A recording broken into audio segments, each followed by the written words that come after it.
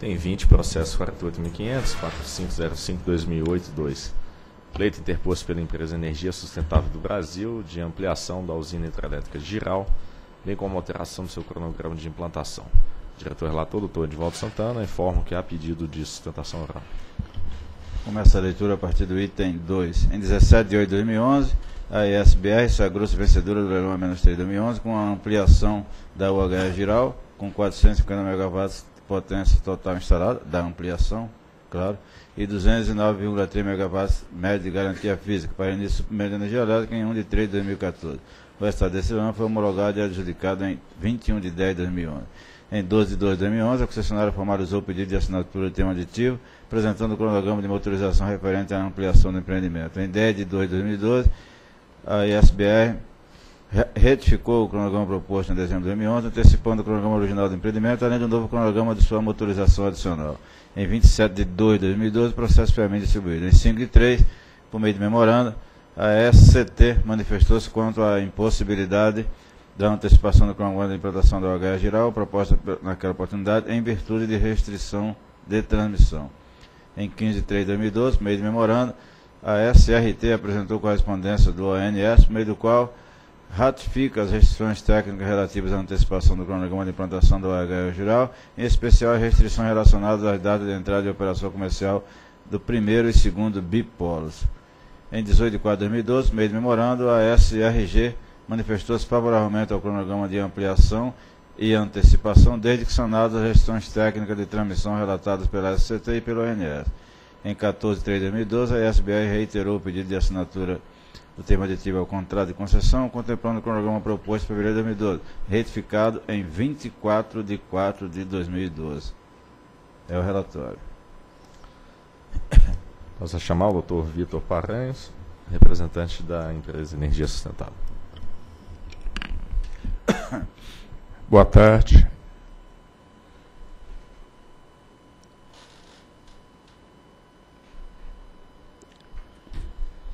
Inicialmente gostaria de agradecer a, ANEL, é, ao relator e às superintendências pela rapidez e velocidade na, na avaliação do nosso pedido. Andar para baixo. A próxima, como é que é, por favor? É, eu acho que esse pedido, principalmente depois de um segundo ato de vandalismo, que nos tirou 37 alojamentos, nós estamos com 4 mil, menos 4 mil vagas é, em geral, é a demonstração da responsabilidade da SBR de buscar esse cronograma. E essa assinatura do contrato aditivo contratual é fundamental porque ele é um fator precedente para a assinatura do contrato do BNDES. O BNDES não pode liberar recursos sem que é, a expansão esteja, esteja aprovada. É, a próxima, por favor. A gente, dentro desse cronograma, a gente mesmo, apesar desses dois eventos sérios, nós estamos antecipando as primeiras máquinas em 30 dias, Estamos antecipando a motorização global da usina na 27ª máquina em 592 dias e estamos antecipando a finalização da usina com mais seis máquinas em 610 dias.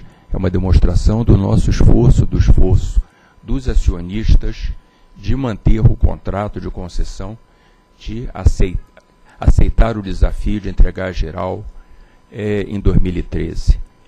No entanto, a gente. É, a próxima, por favor. É, a gente vê que esse esforço está sendo bancado totalmente pelos acionistas. Por quê? A gente vai ver é, nos gráficos seguintes que tem eventos diretamente relacionados à SBR que o atraso é nosso. A ELI atrasou perto do que a gente esperava quase 10 meses.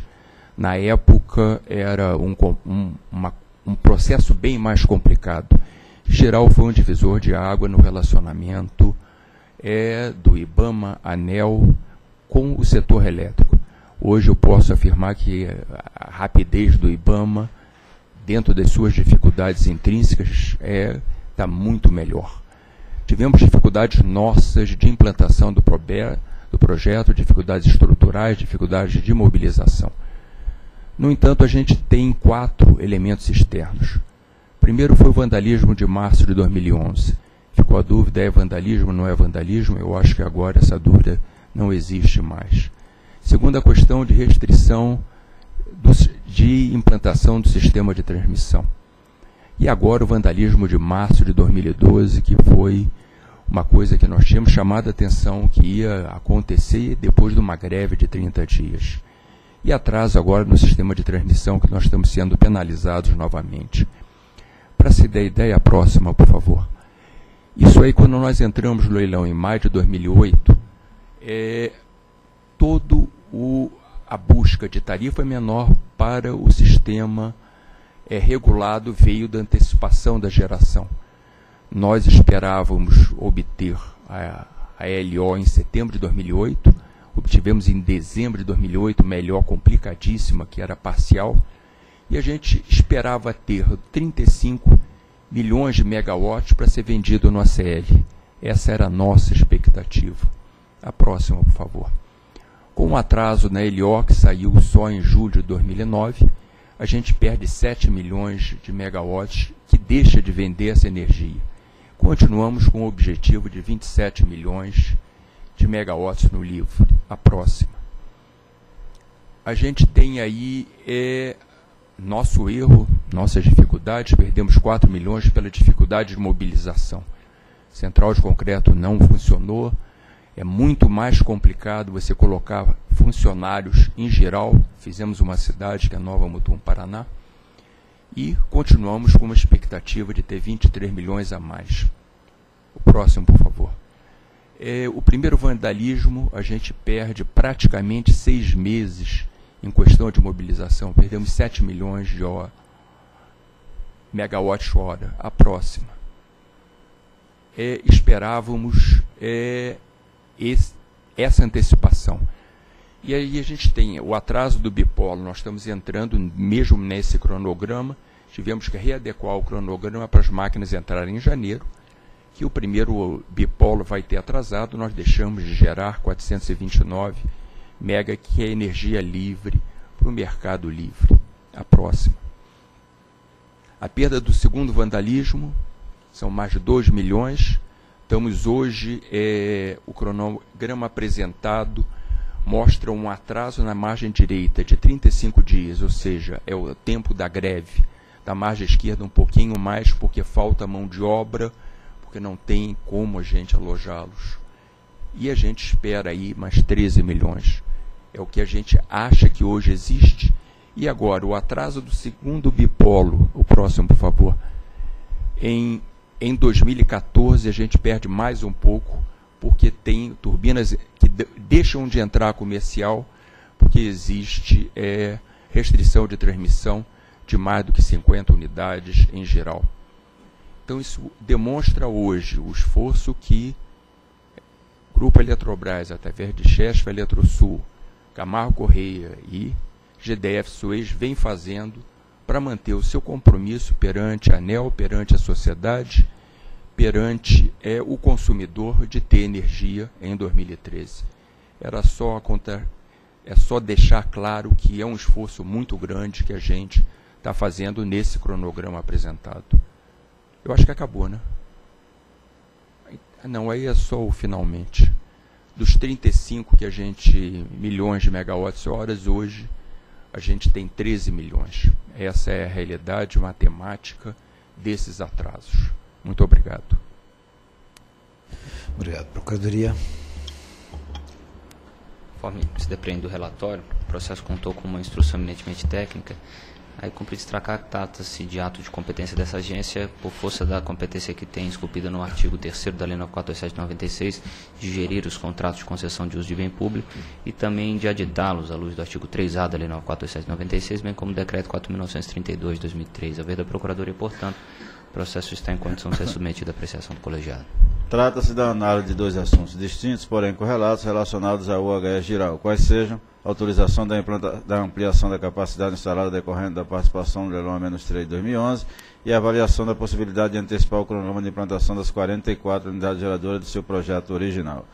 A outorga original da OHE geral prevê a instalação de 44 unidades geradoras, totalizando uma capacidade instalada de 3.300 MW. Como resultado da análise de otimização do projeto, readequação do projeto e inclusão de máquinas adicionais, concluiu que o empreendimento poderia ter sua capacidade instalada ampliada e, consequentemente, ampliação da garantia física. Desse modo, a ISBR comercializou a energia a ser gerada pela ampliação do AHE geral do regulamento C 2011. A ampliação, que equivale à energia comercializada, é decorrente da instalação de seis novas unidades geradoras, como já disse antes, com 4, 450 MW, de forma que o empreendimento terá 3.750 MW de potência total instalada. Durante a instrução do processo, dada a interação da SCG, a ESBR apresentou o cronograma de implantação de ampliação em conformidade com as datas originais apresentadas à época do leilão A-3 de 2011 na EPE. Quanto ao cronograma das 44 máquinas do projeto original, percebe-se que a antecipação é bastante arrojada e representa um adiantamento que ia de 89 dias, unidade 4 e 5, a 853 dias, unidade 44. Devemos reconhecer o mérito do empreendedor ao propor essa antecipação, tanto pelas razões por ela apresentada, maior segurança no suprimento, quanto pela capacidade demonstrada de concretização de uma obra de porte estruturante em tão pouco tempo por razões econômicas. Entretanto, devemos também avaliar a proposta da ISBR do ponto de vista estritamente técnico, pois restam dúvidas quanto à capacidade de escoamento desta energia ou restavam né, com a, a, proposta original. A SCG consultou a SCT, a SRT, a SRG e a SFG quanto ao pleito proposto, obtendo a sinalização do ANS de que a entrada em operação comercial da UH geral, geral somente será possível a partir da entrada em operação do primeiro bipolar. Ademais, o INS destacou que, independentemente da antecipação de entrada de operação comercial da OH geral até a entrada de operação do segundo bipolo, hoje prevista para fevereiro de 2014, os despachos plenos da OH geral e Santo Antônio serão sujeitos à restrição por conta da limitação do sistema de transmissão nesse período, cuja capacidade será de 3.750 MW em carga pesada e 3.600 em, car em carga leve.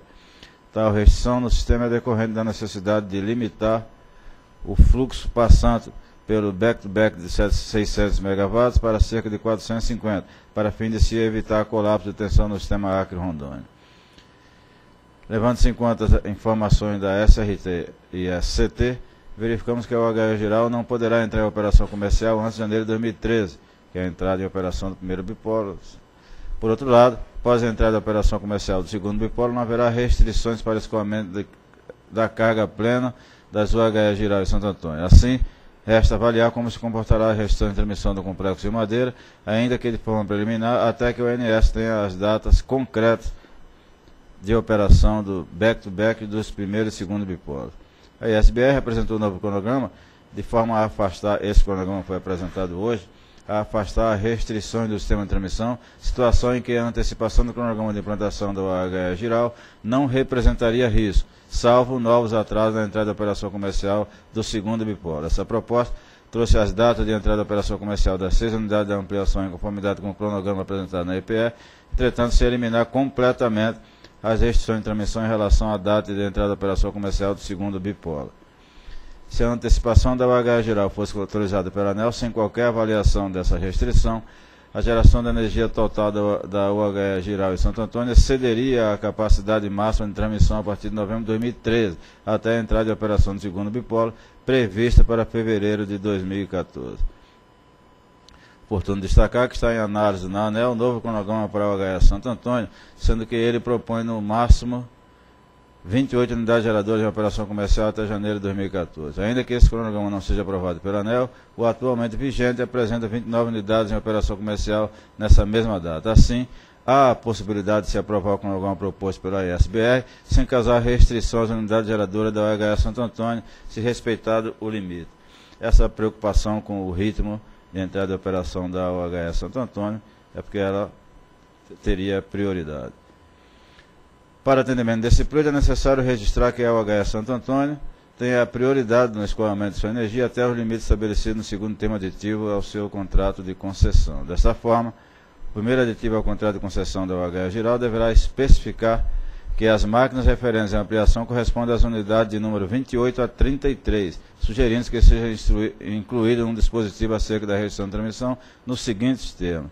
Aí tem os termos sugerida de inclusão no termo aditivo, para como precaução para a prioridade da primeira usina, dada a restrição de transmissão. Conforme destacado pela SRG, dado o critério de discretização da garantia física da UH geral, que estabeleceu o número de unidades base na, na 27ª unidade, as unidades subsequentes não agregam garantia física, é necessário que se mantenha o ritmo de entrada de operação previsto em contrato de concessão, de forma a não imputar ao MRE o adicional de suportar a geração que não ocorreu. Ou seja, a principal preocupação com tudo isso não é com Santo Antônio nem com Giral, e sim um, autorizar coisas que não seja possível ser praticado e os demais geradores do MRE que pagariam essa conta. Então, mesmo que esse, neste voto nada disso esteja assim com tanto detalhe, eu espero que sim, o, o que está subjacente a ele é essa premissa, não agregar conta para outros geradores. Conforme esse entendimento, o ritmo de motorização da UH geral deveria ser alternado de uma unidade geradora e duas unidades geradoras por mês, até se inteirar ou completar as 44 unidades. Por questões construtivas de engenharia, a SBR alega ser impossível adotar o ritmo linear de operação comercial das unidades geradoras da UH geral no contrato de concessão original. Isso ocorre porque o empreendimento tem quatro casas de força e, quando apenas a última casa de força estiver na etapa de obras civis, não haverá espaço físico para construir em diversas frentes de trabalho, como ocorre hoje. Vocês vejam que tem uma preocupação, talvez até excessiva, mas depois percebi que não é tão excessiva, das nossas áreas técnicas, em precisar o tempo de cada uma delas. Dessa forma, foi apresentado um ritmo de implantação das unidades geradoras subsequentes às, 20, às 27 primeiras, na mesma proporção existente no contrato de concessão. Para fim de comparação, a SCG destaca, meio da nota técnica 165, que o cronograma original da OHE geral prevê um ritmo de motorização de 21,52 dias para cada máquina, a partir da 28ª unidade, 31 de 10 de 2005, até a 44ª unidade, 31 de 10 de 2016. Com a nova proposta, o novo cronograma, da 28ª unidade até a 50 já considerada ampliação, a, a 374 dias, incorrendo em um ritmo médio de aproximadamente 22 dias por unidade. Logo, pode ser considerada superada a questão, uma vez ser irrelevante essa diferença e ter sido atendida a determinação de manutenção do ritmo de implantação. Teve uma correspondência da SRG para o Ministério, respondida pelo Dr. Altino, que dizia que a ampliação, etc., etc., poderia ser aprovada desde que fosse mantido o ritmo de implantação das unidades após aquelas que agregam a energia assegurada. Daí porque essa preocupação da SCG, SRG e também minha que acompanhei a opinião das duas áreas. Assim, acompanha a SCG de que é possível antecipar o cronograma de implantação da UHR geral, incluindo a ressalva de transmissão transcrita no meu voto e no primeiro tema aditivo ao contrato de concessão do empreendimento. Faço do exposto do que consta do processo 48.500.0045.05.2008.02, voto pela emissão do primeiro termo aditivo ao contrato de concessão, conforme minuto anexo, que visa autorizar a ampliação da capacidade instalada da UH geral para 3.750 MW e alterar o cronograma de ampliação da UHE geral. É o voto. Ok, em discussão.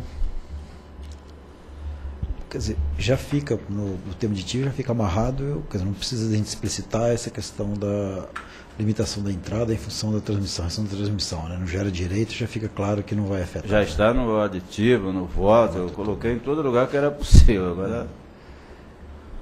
Tá, pois é, isso que eu também ia perguntar, porque o, o tema aditivo não está é, aqui anexo, sim. mas lá está colocando, um, como você disse, um no texto, voto, isso. porque não está na decisão, mas no voto de fato está. Hum, ok. Em votação. Voto com o relator. Também voto com o relator. Também voto com o relator. Também voto com o relator. A diretoria decidiu por aprovar a emissão do primeiro termo aditivo ao contrato de concessão 002-2008 MME UHE geral, conforme minuto anexo, que visa autorizar a ampliação da capacidade instalada da UHE geral para 3.750 MW e alterar o cronograma de ampliação da UHE.